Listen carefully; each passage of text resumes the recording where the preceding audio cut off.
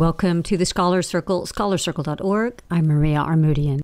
In this hour, how does the U.S. election look to people from outside the U.S.? Will its ability to navigate the process show observers abroad the strength of the U.S. democracy, or will it show its weaknesses? Doug Becker explores. I'm Doug Becker. This week, the United States once again held a presidential election, one that keeps the U.S. enthralled, impassioned, frustrated, and encouraged, while also worried about outcomes. On today's show, however, we're going to draw attention to people watching and following this election outside of the United States.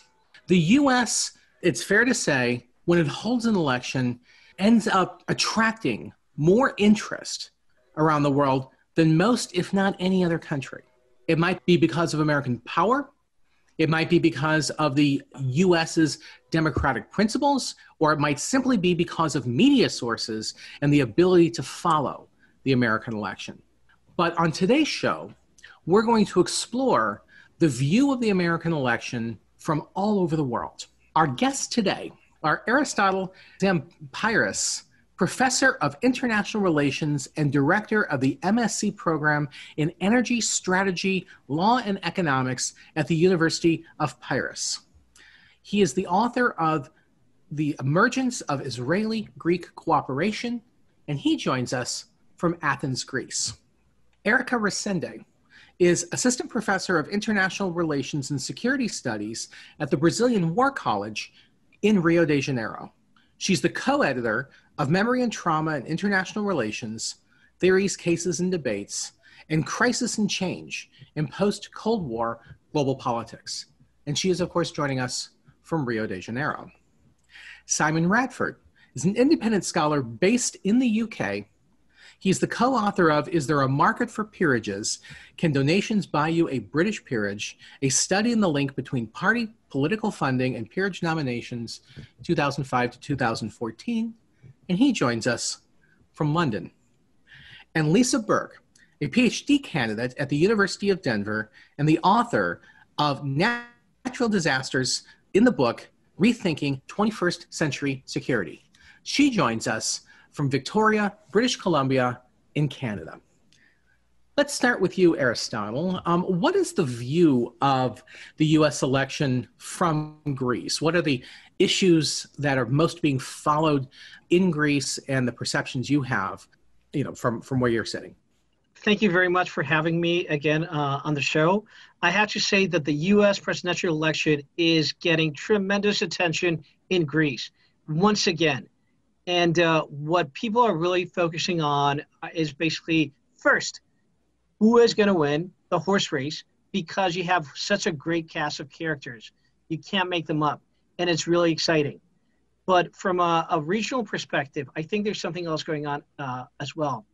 And that has to do with the fact that what the US decides to do or not to do on a global level has consequences. Hence, who actually resides in the White House is something that the world has to grapple with. We'll be doing webinars and interviews in Greece, and this simply never happens when there are elections in France or in Japan, two very important countries. So, in many ways, uh, Greece really looks at what happens in the US because inevitably this will influence the region where Greece is and the world as a whole. And furthermore, it's just so fascinating and so complex and so intricate and you have such characters and such media presence uh, that people, even casual uh, followers of politics, uh, just uh, really want to follow and figure out what is going on. And uh, Erica, you are in Rio, and I know Brazilian politics have had linkages to American politics, in particular in the last few years. What's your perception of what's going on in the U.S. from Rio? Thank you, Doug, for having me uh, on the show. I think it's uh, our third time here together, and I appreciate the invitation. Well, first of all, talking as ordinary Brazilian and not as much as a political scientist, I have to first to acknowledge that U.S. elections is an unbelievable great telenovela. I mean, we've been here for three days long staring at our um, uh, at uh, news channels, you know, 24/7, and watching the show with lots of speeches and the performances and the race alert. So it's very catching and exciting for an Amer- for a Brazilian to try to keep up with uh, the events and as the story of who is going to be the next American president unfolds. But now talking more as a political scientist, um, yes, there are a bunch of uh, similarities. Some of them, of course, has to do and are easily explained by history because our own political system has, when it was uh, drawn up, and the American system has always been the inspiration. So we try to, as much as possible, to reproduce some of um, uh, the U.S political institutions. But it strikes us as very uh, confusing, such uh, what we perceive to be a very outdated model, which is the electoral college. Because for us, the electoral college and how it works by placing emphasis on uh, lots of, of, of small elections in each state instead of reaching out the the fullest of the principle of one person, one vote. And for us, it's a very unusual system. And also the lack of a coherent legislation, federal legislation that deals with the voting process. And in the US, each state uh, manages its own uh, electoral system. So for us, that produces a very confusing and for us, it's also very apparent the distortions that appear with this uh, particular system. And, and the way that we now are following on our uh, be on TV or a news cable, cable news or, or, or the press or internet, that keep up doing this um, comparison between the Brazilian system and the American system, as much and, and insofar as the American system has always been broadcasted, sold out, and, and narrated as the model of democracy.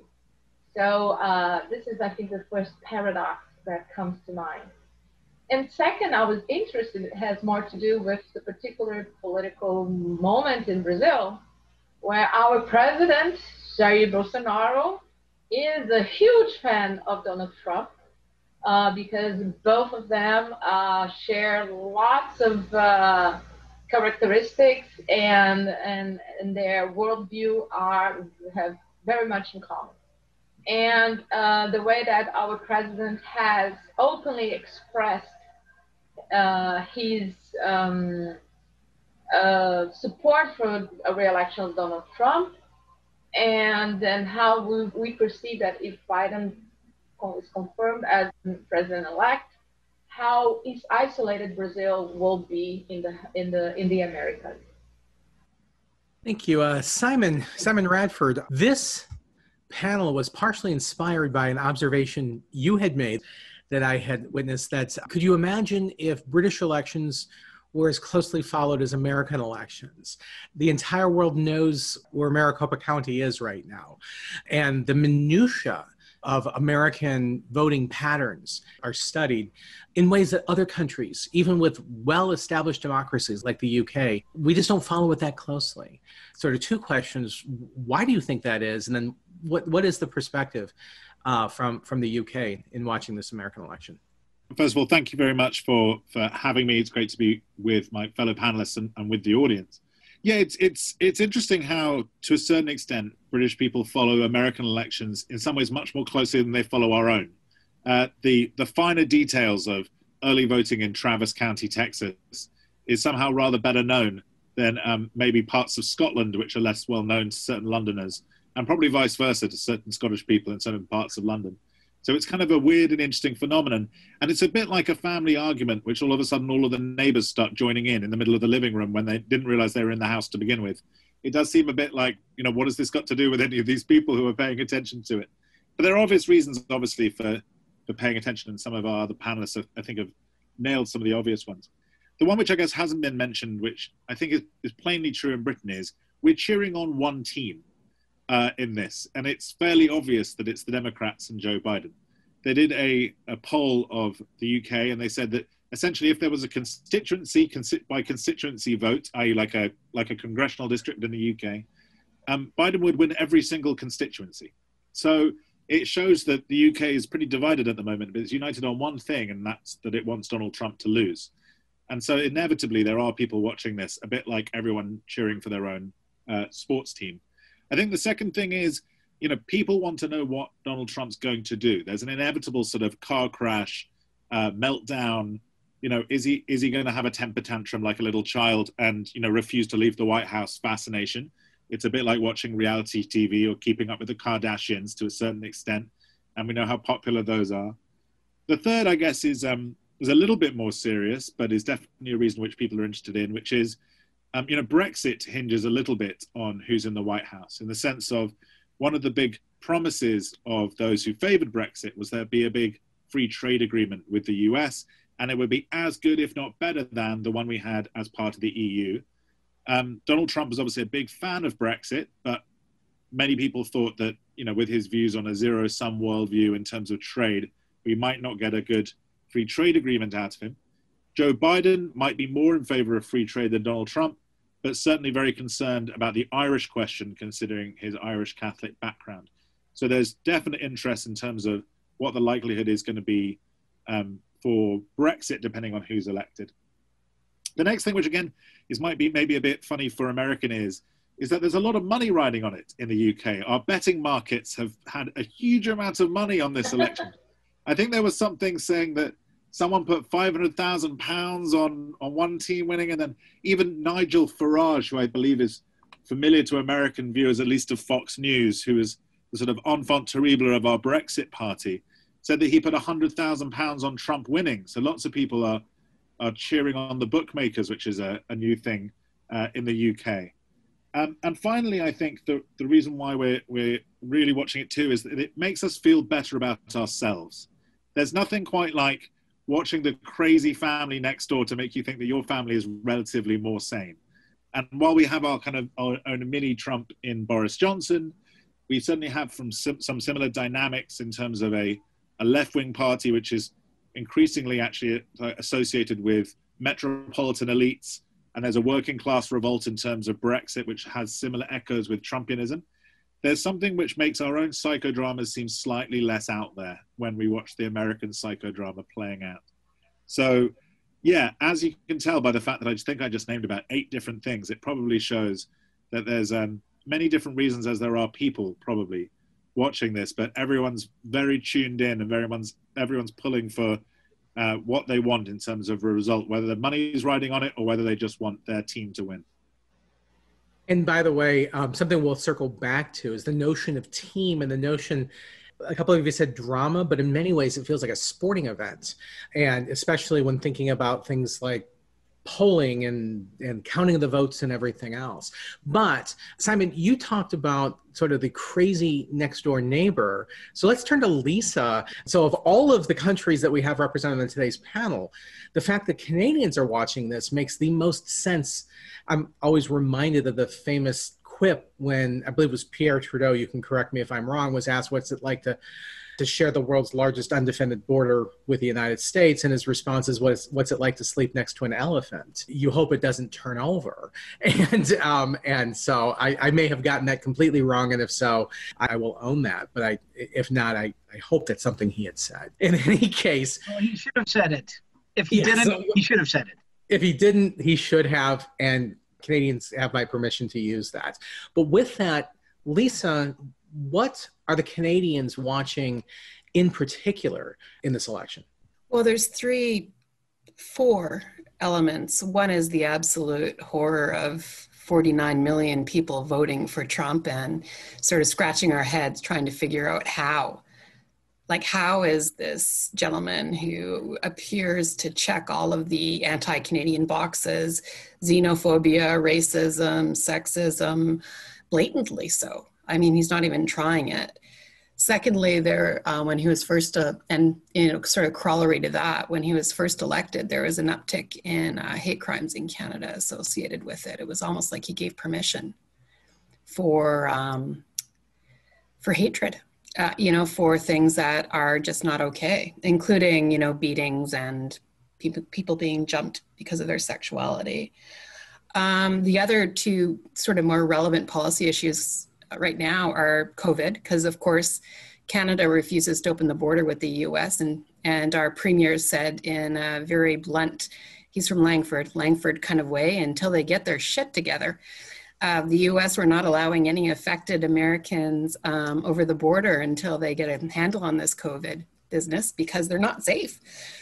Um, adamantly. And I don't know if that's something about the unique nature of privatized public health in the US that I even though I live down there, could never quite grapple with. And thirdly, is the the issue of climate change, and and related to that is jobs. Um, I'm on Vancouver Island, um, which is uh, southwest of Vancouver, and has a tr- um, and we were really nastily impacted by the forest fires, worse than I think parts of LA were in some ways because um, our our air was the worst. Uh, like it was maxed out all over the island, and I have severe asthma and couldn't leave the house. So you know, yay COVID, yay mask, yay yay forest fires. You know, it was like this vector of all these things coming together.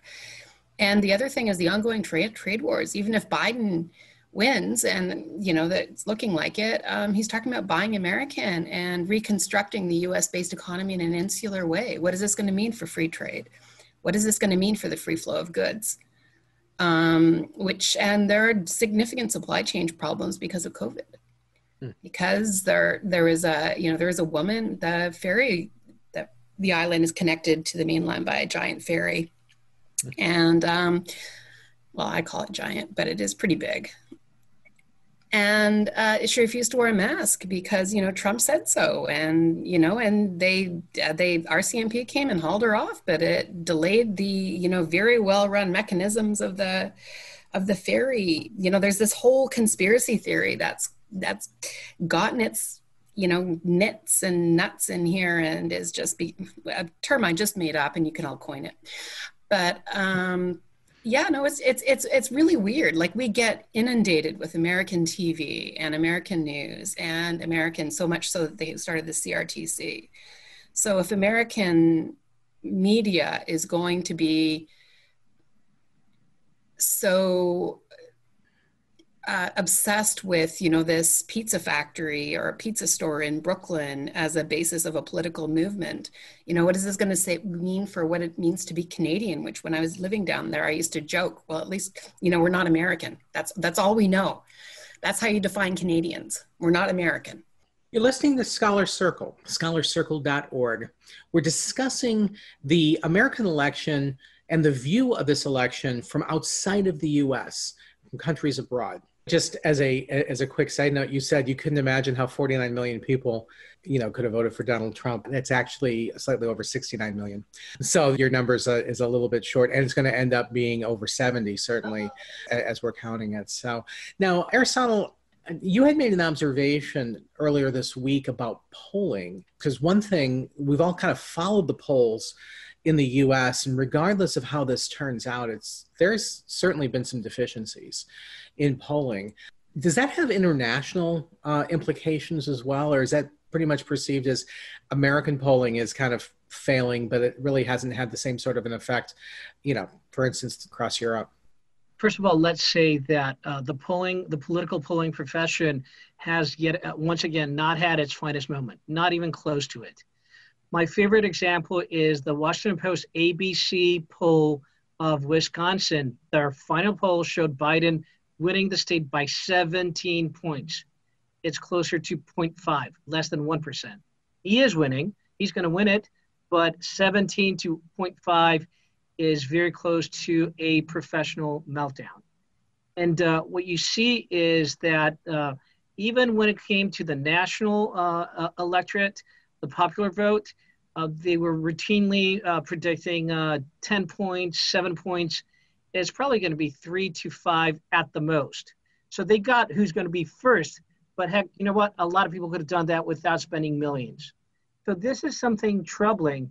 And I think it's actually not something that is US based only.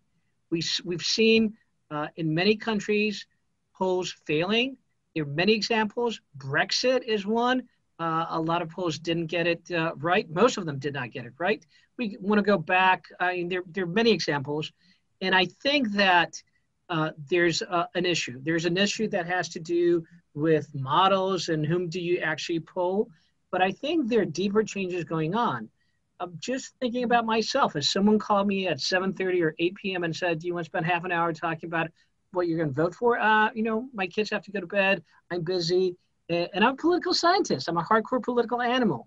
So I think there are uh, deeper changes going on, trying to figure out who's going to vote, um, trying to get uh, the correct sample. You've got internet based questions, you've got phone calls, you have the traditional interview. It is becoming, in our day and age, we're inundated by social media. Attention spans are shorter and shorter. You have people who are actually angry, and that has to do with globalization or inequality, other reasons, and very distrustful of the political process, the political class, and pollsters. And I think all that is going to have as an effect uh, less trust in polls, less, less trust in the system, and polling is going to become far more difficult. And that's not necessarily good for a democracy, both the level of distrust and the fact that you can't get it right. So you, you might not be clear about where the country or any country is standing. So these are troublesome uh, trends. Now, it, it is going to be the case that uh, in the end, Nate Silver will say, well, you know, I said Trump has a 10% chance of winning. He lost. So I was uh, on the money. But in reality, it's a little bit more complex than that. And I'm worried about it. I'm really worried. And it's very important for, especially in important states like the United States, still the most powerful country in the world. If politicians do not have a clear picture of how people are thinking because of a variety of reasons, then they have their gut feeling or maybe their uh, ideology. But that's something that you don't want to miss from the decision making process. So I'm very worried about this, and I'm actually not happy that in two successive presidential elections, uh, the polling profession has not done a, a great job. Now, Aristotle, you raised an interesting point as well as, as far as the influence of, of the United States in that when you speak of the polling profession, so many pollsters from around the world get their training in the US or have connections with the US. And so if the US is getting it wrong, it makes sense that other countries are also getting it wrong. So that's certainly the level of concern you have for that makes a lot of sense to me.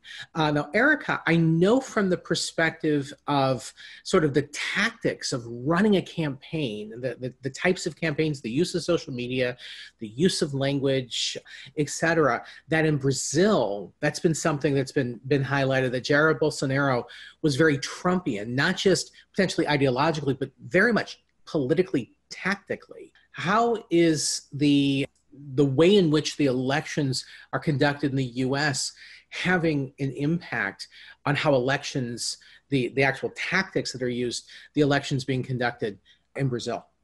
We are one week away from elections in Brazil. Sunday, there are going to be elections uh, for uh, mayor's office and city councils around the, the, the country and because we have elections every two years, two years as well. So um, in terms of if you want to pull a comparison between U.S. electoral campaigning and, and in Brazil, I would say that um, polls do not matter as much as it seems to matter in the American um, elections. And I think although I'm not a great specialist on polling, so I have to acknowledge that. But from my understanding, polling in Brazil have not made such huge mistakes that I can, as I can see in the American elections in, in, in the last two uh, presidential elections in the U.S.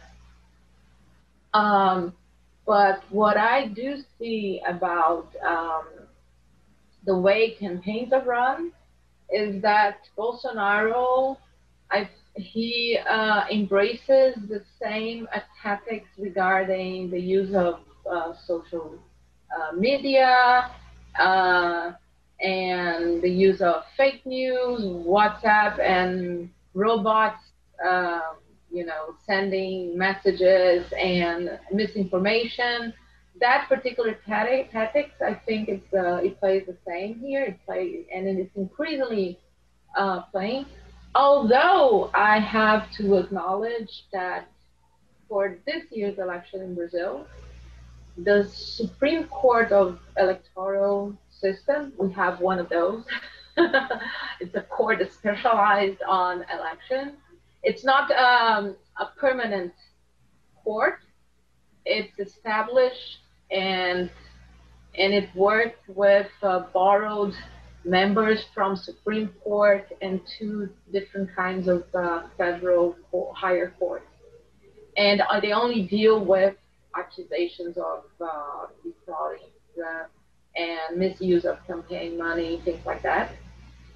And uh, for this year, the electoral Supreme Court has had a very harsh policy of trying to stop and limit misinformation, fake news.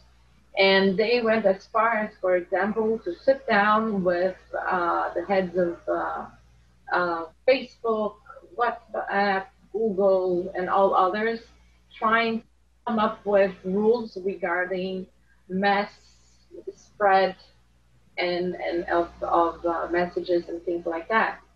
Uh, so, for example, WhatsApp, which is an app, the most used app in Brazil for texting. Uh, since last year, it has been uh, uh, blocked. You cannot send messages more than, uh, I think it's six or eight people at one time. So, it is an attempt to block the political of spread for spreading fake news and, and misinformation. Um, one thing that um, I think it's, it's very interesting to acknowledge regarding poll, although uh, I haven't seen that much in Brazil regarding, you know, electoral procedures, but polling regarding other issues for, for policy making, is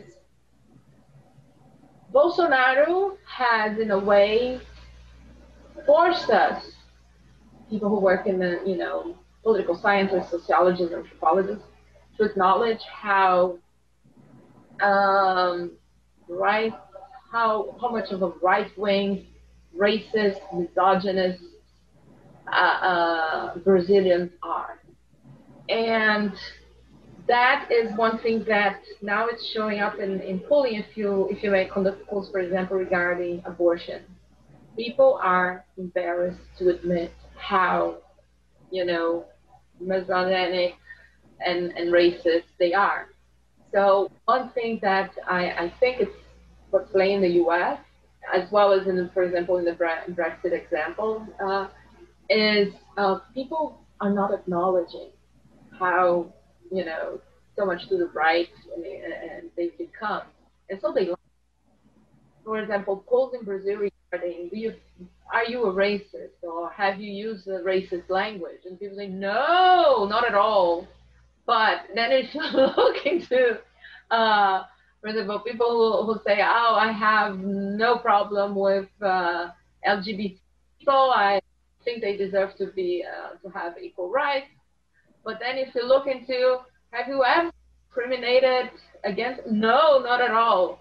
Although everybody thinks that have they, they have discriminated uh, in their lifetime. So one thing that uh, polling, uh, if you think about polling and this move to the right in certain countries, uh, like the U.S., Brazil, Hungary, or Turkey, is people are embarrassed to admit their political standing, and so they lie for polling.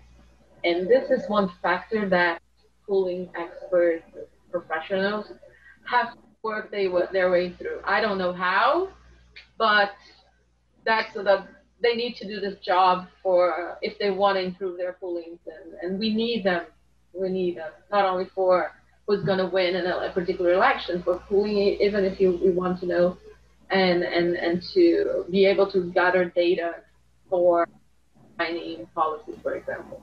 Absolutely. When we come back, what are the unique traits of American democracy and just how democratic are they? Stay with us.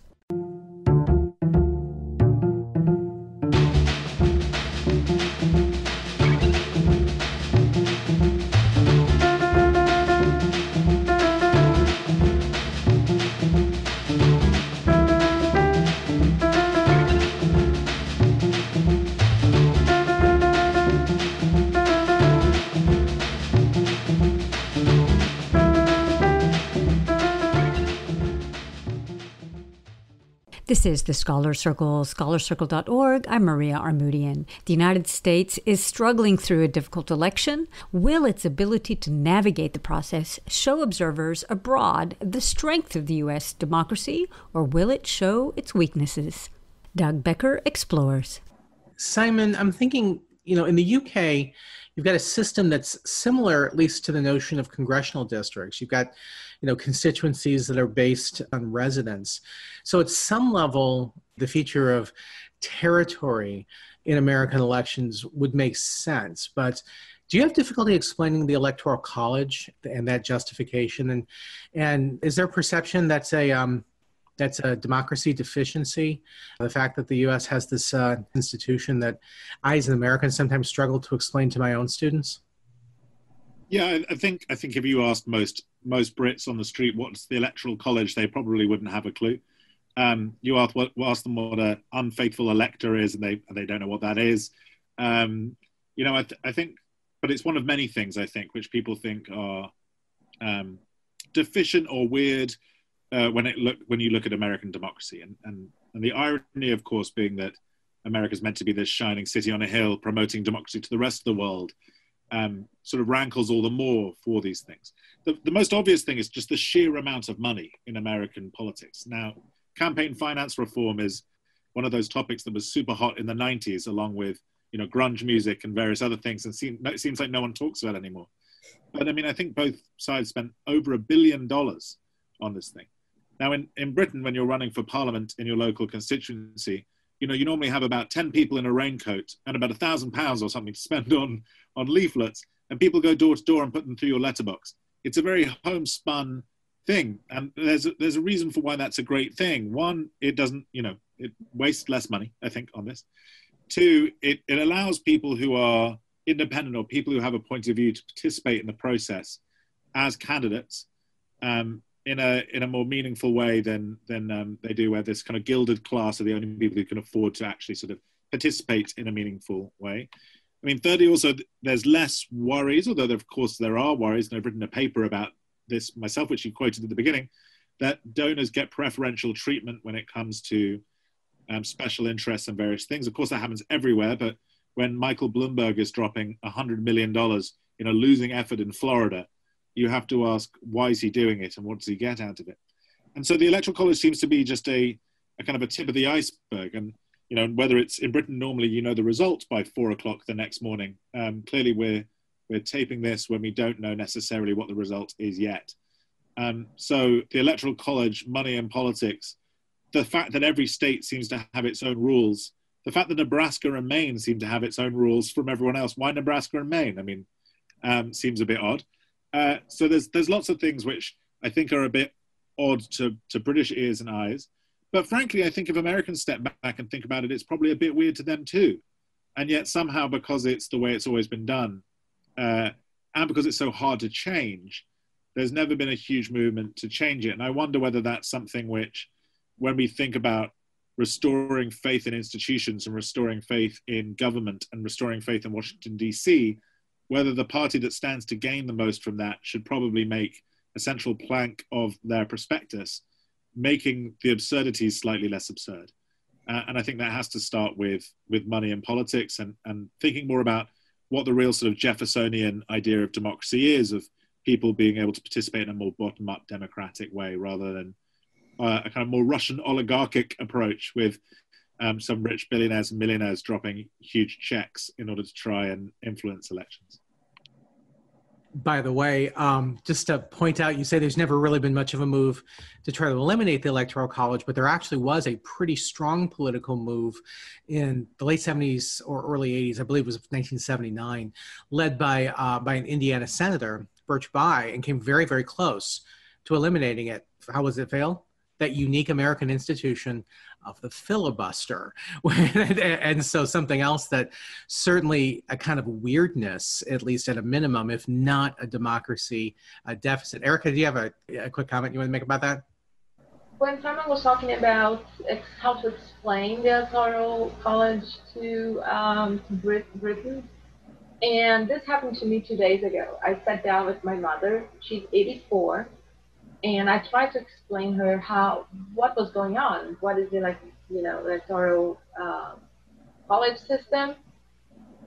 The thing that she remarked is because she picked it up like instantly is that, oh, I do understand. So each state has a certain amount of votes. So, am I correct to assume that then people who live in Alaska, Wyoming, Nevada have very with fewer votes, they don't matter. So uh, that perception of her, of how important, for example, one state with 20 votes like Pennsylvania matters more than a little state like Alaska with only three. So I think for uh, someone who is not familiar with the American system, that's what really strikes as very unusual and undemocratic to begin with. Absolutely. Aristotle, first. I'll ask Aristotle and then come back to Lisa. Uh, very quickly, I have lots of fun with my uh, first year students. I ask them, who elects a US president? They say the people. And I say, you're wrong. It's not the people, it's the Electoral College. And I have to agree with Simon that it's extremely difficult to change it. But other things have changed in the US uh, Constitution. And it's clearly not very democratic. It's an 18th century institution it's constitutional, of course. The, how many times does the word democracy appear in the Constitution? None. So it's, it's indicative of a certain fr- uh, framework uh, of thinking about politics. But I want to be a little bit more contrarian. It's the United States of America. A persistent theme in the United States are regional differences. It's a state federal system for better or worse. And the fact that we're talking about Maricopa country, or a congressional district in Maine or Nebraska that could be the tipping point in the electoral college. This system allows states to be relevant. Why? Because candidates have to go to states, uh, listen to them, pay attention. It's a it's not no one can argue that it's particularly democratic, but from a state point of view, it's very important because otherwise you would have candidates camp out uh, outside uh, 16 or 20 big metropolitan areas and that would be it. So I just, and I think that's one of the reasons that it hasn't been uh, changed for uh, two and a half centuries because it allows smaller states, rural states to uh, potentially play a significant role. Now, I'm not saying whether this is good or bad. I'm, I'm more trying to explain the persistence of this very unusual, unique 18th century electoral institution. Now there is one one quick thing that I'm going to ask Lisa this as well.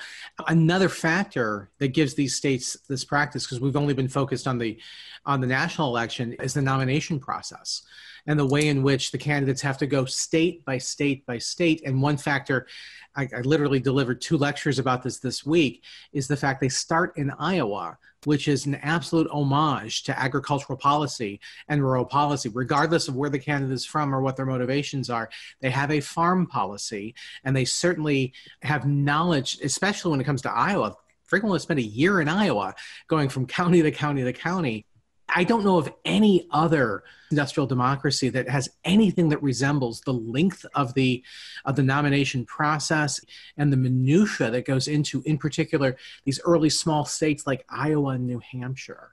Lisa, I'll ask you first of all about the Electoral College, the view from up north, but also any of these issues about regionalism. Canada's a big country. It's a really big country. And yes, size does matter, to quote the arrogant worms who's a Canadian folk song folk group. They also did a song called Carrot Juice's Murder Too, but um, They're brilliant. Anyway, as an aside, I'll speak about the regional issues first, and then I'll move into the electoral colleges because they kind of blend my response to Aristotle and also um, the regional. So, how Canada Canada is a bigger country with less population, so um, than the U.S. is. It's as I was told by one gentleman in Denver, um, Canada is bigger than China and has fewer people than Texas. Um, I don't know if that's accurate or not, but I, yeah. Anyway, it's it's it always amazes me how little how little geographic knowledge people have.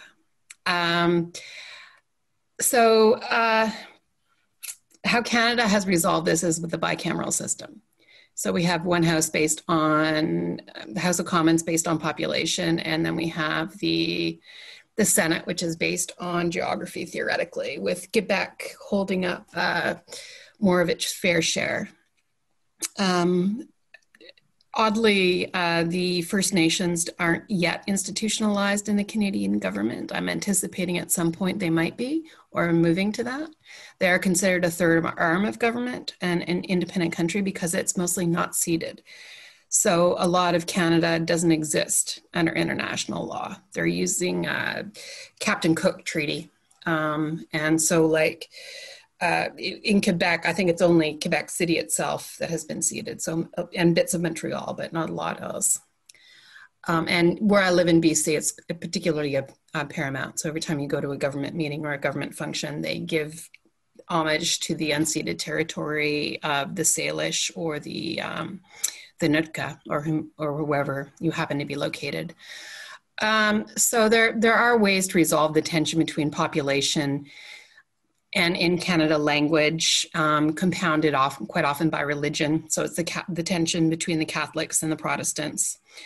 Um, and uh, the and geography, like how to account for something that's both reparable, you know, like democratic and representative. Um, the Electoral College um, is portrayed up here as something to keep rich white dudes in power, basically. It was an attempt to answer the you know uh, Aristotle's question about how do you keep a, a democracy from devolving into uh, a mob or the rule of the demos and you know like bastardizing itself. And so you do that with uh, sober second opinion in a way that's got a stranglehold and no balance to it which is the question in i have for an organization that's so focused on checks and balances what balances the electoral college. You're listening to scholar circle scholarcircle.org. We're discussing the American election and the American electoral system from the view of uh, from around the world. My last question is kind of a big question, though. So, and I'll start with with Aristotle. The challenge that the U.S. faces right now in this election, the fact it's certainly taking a long time, it's exposed certain aspects that call you know some democratic principles you know into question etc the fact that the us is almost assuredly going to navigate this one you know perhaps with some some difficulties but is going to survive it. Is this a sign the fact the us is having difficulty uh, and has had difficulty the last few elections? You know, with managing the election and, and questions about legitimacy does this undermine the notion of the U.S. as a real democratic leader, or is the fact that it's, actually navigating it pretty well show the strength of the system and one that's likely to build its its image as a democratic country around the world? No, it's a great question. Uh, first of all, I think the world has noticed the following: that uh, participation in this election has risen as a percentage of the population. Probably you haven't had a higher participation in more than a century. So this is an indication of the vibrancy of American democracy in the 21st century and the fact that voting has been made uh, easier. Uh, and because it was made easier, more people voted, which is a net plus and gain for democracy. I think a lot of countries around the world are taking a close look at that. Uh, and I think that is something very, very positive. So, uh, for example, uh, I'd say that the fact that the United States very infamously uh, had an election day that was a working day uh, didn't help voting. But now uh, uh it's showing the way of how you can increase voter ter- turnout in the 21st century. At the same time, it's absolutely clear to me and to the world that uh, the United States remain remains a very polarized country. Even as seems likely at this point, Biden wins the election, it's not going to be a landslide. This is a society that's polarized. And I think that this polarization doesn't necessarily or only have to do with a very uh, divisive character like Donald Trump, but I think it has to do with uh, greater forces, democratic and financial. I list the following. First, the United States is going through a democratic, a demographic, excuse me, uh, sea change. Uh, by 2040, uh, whites in the United States will not be the majority. And I think this is dawning upon people. They're changing demographics of the most important country in the world. And then the tremendous inequality. It's the kind of inequality that raises eyebrows. And I think that people are really living through times of uh, great inequality. And when that happens and you see yourself falling behind, uh, then uh, I think you uh, search for scapegoats or explanations or solutions. And that I think causes a lot of this uh, vibrancy and participation, but also polarization and conflict. The demographics, inequality linked to globalization, and uh, the fact that more, most, more people are participating, these are things that are not unique just to the United States. Uh, and especially inequality is something that we can see in the 21st century across the West. So I think these are things that uh, American democracy is dealing with imperfectly. Let me also very quickly say that it's the, the United States is unique in the sense that you elect a president, elect, and then he has the time for a transition uh, in uh, parliamentary democracies, you win an election and you probably have 48 hours to form a government, and not in the United States. So that gives a cushion to the electoral process to uh, play out. You can have lawsuits. In fact, this election is probably going to uh, be decided in a very American fashion through litigation. But I think that the United States is on the forefront of all these changes, and they're being played out on a larger um, uh, scene and uh, on a larger stage. And the world is paying great attention.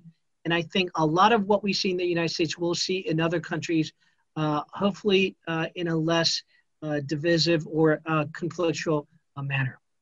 Erica, I guess part of the, the issue is going to be whether or not we see political violence in the United States or if this is all managed through peaceful mechanisms and also perhaps through through lawsuits. But with that in mind, um, is the polarization and the challenges that, that we're seeing faced in, in American elections is the fact that it's likely to be managed without conflict a, a sign of the, the strength of American democracy and the image it, it, it projects uh, around the world? Or is this showing a real sort of weakness as the U.S. projects itself as, as a democratic leader? Well, depends on what you mean by violence. I when I watched Donald Trump yesterday, for me, that was violence. The way he went on on conspiracy theories of fraud, legal votes, illegal votes, that for me was violence. Not violence in terms of blood getting spilled, but it was violent. The way and the, uh, during the, I think it was on the first debate when he refused to condemn white supremacist group. For me, that was violent. So I think that American politics, which is not surprising because it has been in a build-up of politics based politics based on fear. It has already become violent. So, uh, what I will, as a question, you know, get back to you is depends on what you mean by violence. Because when I see the, you know, bodies of black people being shot by the police all over America. For me, that's already violence out there. And so, and again, you know, as Lisa, you know, very correctly pointed out, 60, 60 million people voting for Trump, for me, that's violence. That's a huge, America has surpassed what, or, or even you know, crossed a, a, a very strong threshold of saying that we are not um, if ever we were trying to build up this American dream or melt uh, melting pot, as well, however you want to narrate it and represent it as, as being out welcoming, tolerant, diversity. I already see, you know, America coming through its seams. Simon, you know, with the same question with Great Britain, I'm reminded of the great Churchillian quote that the Americans will always do the right thing, but after they've tried everything else. Uh, is that sort of the, the, view from Great Britain, or do we just make the mistake of always attributing uh, any Churchillian quote to a common British approach to the US? This election, what, what kind of impact is it having on British perceptions and other international perceptions on the US? I'm not sure the election itself moves the dial compared to the last four years in general. I think sort of people's views on the United States are pretty baked in at this point, especially at the America under Trump. I think there's also an, an easy way of both saying that sort of reasons to think that this is very similar to other episodes in American past and therefore not to overreact, and equally reasons to think that this might be the the start of something slightly different. Right? I mean, I think I think you don't need to be a scholar of American history to to think back to you know RFK being shot during the nomination process in '68, or to George Wallace getting getting shot. Um, there's been a huge amount of of real American violence in terms of assassinations and killings um, throughout its history, um, in a way that actually is not very common in other countries. I mean, I think you know most people probably can't name one British politician who's been um, shot apart from the recent one in terms of Brexit and, and, I think Spencer Perceval at some point in the 18th century. Um, so, so I think there's sort of a, a, dangerous thing thinking that maybe this is more unusual than it is. The, the reason why I think um, people might think it's a bit different is, you know, the stripped down definition in political science of of um, democracy is that elites rotating in power, and I think to a certain extent what we're seeing with uh, with Donald Trump is this idea of it not being elites rotating in power, but elites um, stealing elections from the people. And that's the frame that's trying to be substituted. And I think when that happens, it is slightly more dangerous, that it becomes less of a um, of an, of an organized set of Queensberry rules which parties participate in, and something which is a much more bare knuckled um, struggle for power. Uh, a video which I saw recently was George H.W. Bush conceding the race to Clinton in 1992 and you'll struggle to, to hear a more you know gracious speech where he concedes he congratulates clinton on running a great campaign and promises to do everything he can to make bill clinton's presidency a success. That's the sort of Queensberry rules in action and that's not something which you're seeing in this election and won't see um, while donald trump's around. And he's, there's a political culture that he's created which means that that's unlikely to come back anytime soon. And i think that's what worries people. And then finally, the thing which is obviously very different in 2020 compared to 1968 is is the ability to mobilize people quickly. So yes, you'll you'll say historically America's always had its yellow press, people saying horrible things about Andrew Jackson's wife or what have you. Um, but there was a you know a group on Facebook advocating for, for civil war, which had to be taken down, which raises um, you know sort of quite quite large questions about is this something which can get unraveled on the basis of mass mobilization at the click of a button, as opposed to a, a previous thing where coordination is that just that much more difficult? So even when there's been a very coarse political culture, the ability for the, the sort of institutions to protect themselves was that much greater. Now the barriers to overcome for people who wish to tear it down are that much lower, and their ability to coordinate like-minded people is, is that much easier. That I think people are worried that this time might be different.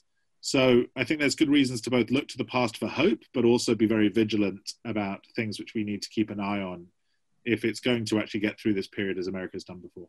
Now, Lisa, we only have about a minute left, so give a quick response to the question. Yeah, no, I'm just saying two things. One, I think what Trump is really um, surfacing is is one, uh, you know, is it the ultimate uh, trajectory of American political life where unless everything is litigated to the nth degree, then um, its norms are occluded from political life. So it's like has to be spelled out in the letter of the law in order for it to be real. And secondly, um, uh, what impact does um, changing forms of communication technologies have? You know, we're we're governing by tweets, we're governing by short short snippets rather than le- leave it lengthy and rational discourse. What impact does that have on the political mind and political space? I think it's a great place to end, considering the importance of the election, the importance of the messaging, uh, uh, the way in which this is playing itself out, and uh, a reminder to we Americans that the world is watching and the impacts this can have on global democratization, on conflict resolution, on individual rights, human rights uh, questions, etc., always have a, a significant impact part of being an American is to assert that you're really important, and it's extremely important for Americans to remember that you are, and your actions carry, and our actions carry certain carry messages and carry meanings. We've been discussing today the impact of the American election on the views from around the world and the perceptions from scholars from all over the world on American political developments. Our panel today has been Aristotle Tziampiris, professor of international relations and the director of the MSc program on energy, strategy, law, and economics at the University of Piraeus. He's the author of The Emergence of Israeli Greek Cooperation and joins us from Athens. Erica Resende is the assistant professor of international relations and security studies at the Brazilian War College in Rio de Janeiro. She is the co editor of Memory and Trauma in International Relations and Crisis and Change in Post Cold War Global Politics. Simon Radford is an independent scholar based in London in the UK and the co author of Is There a Market for Peerages? Can Donations Buy You? A British Peerage. And Lisa Burke, PhD candidate at the University of Denver and the author of Natural Disasters in Rethinking 21st Century Security. Thank you all for joining us. Thank you to our guests and to you for listening. The Scholars Circle team includes Doug Becker and Lillian Ng, contributing hosts, Ankine Aghassian and Melissa Chiprin, managing producers, Sud Dongre, our webmaster, Tim Page and Mike Hurst, engineers and technical support. I'm Maria Armoudian, and we'll see you next week.